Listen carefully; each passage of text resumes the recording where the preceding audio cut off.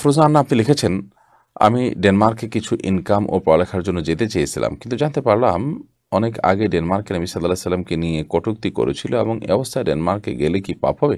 নবী সাল্লাহ সাল্লামের প্রতি শ্রদ্ধা ও ভালোবাসা কম এমন কিছু বা আল্লাহ অখুশি হবেন কিনা? দেখুন, প্রথম কথা হলো যে সেখান থেকে যদি আপনি জ্ঞান অর্জন করে নিয়ে এসে মুসলিমদেরকে সমৃদ্ধ করেন, তাহলে সেক্ষেত্রে সেটা আপনার জন্য জায়জ হবে। কারণ সেখানে গিয়ে তাদের আপনি কোনো উপকার করছেন না বা তাদের প্রতি ভালোবাসা প্রদর্শনও করছেন না। আর যদি ব্যাপারটা এরকম হয়, সেখানে আপনি স্থায়ীভাবে বসবাস করেন, তাদেরকে রিচ করেন এবং আপনার মাধ্যমে সে, আপনি সে, তাদের সেখানে বসবাস করে নীতিমতো তাদের একজন হয়ে যাচ্ছেন, তাদের দলভুক্ত হচ্ছেন, তাহলে সেক্ষেত্রে সেটা নাজায়জ হবে।